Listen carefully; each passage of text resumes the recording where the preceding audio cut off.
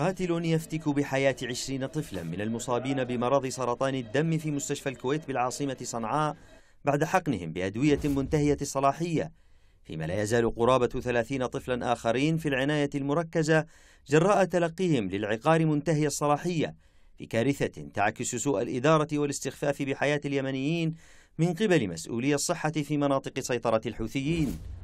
الحكومة الشرعية طالبت بفتح تحقيق دولي في وفاة الأطفال المصابين بالسرطان بأحد مستشفيات العاصمة صنعاء محملة جماعة الحوثي المسؤولية عما وصفتها بالجريمة.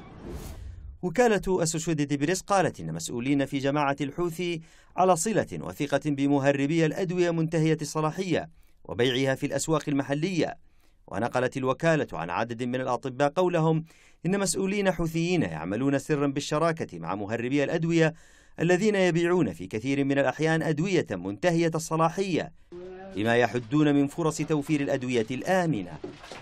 جريمة مركبة تفتك بحياة المرضى وتزلزل الثقة بالقطاع الصحي بشكل كلي في مناطق سيطرة الحوثيين في ظل شراكة قيادات حوثية بشبكات تهريب الأدوية. ما جعل اليمن سوقا خصبا للأدوية المهربة. نقابة الصيادلة اليمنيين اتهمت هيئة الأدوية التابعة للحوثيين بالتورط في الجريمة الطبية بحق الأطفال المصابين بالسرطان في العاصمة صنعاء.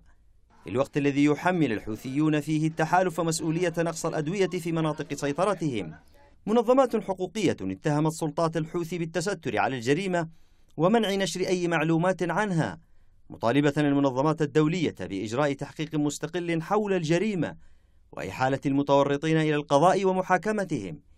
ليبقى السؤال عن دور منظمة الصحة العالمية وهل ستفتح الأمم المتحدة تحقيقا عاجلا يوقف مسلسل القتل الجماعي في اليمن؟